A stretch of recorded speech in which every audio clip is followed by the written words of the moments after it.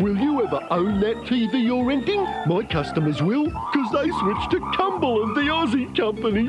They're renting brand new large sets for just $30 a month, including all service and repairs, no matter what goes wrong. But here's the worst part. After two years, you can own it for only $50. That's right, 50 bucks and it's all yours, no more to pay. Will you ever own that TV you're renting? I can't pay. Don't go ape at rental rates. Switch to Cumberland TV and Video.